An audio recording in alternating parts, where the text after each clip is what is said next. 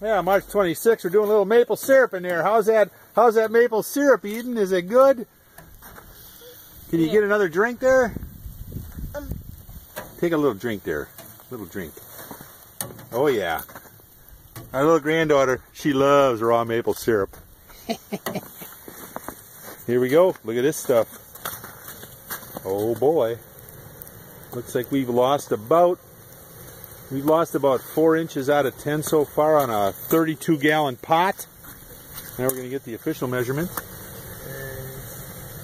Oh, yeah, four, four. Yeah. So we got a lot of we got a lot going. We got the old she's smoking there, she's cooking.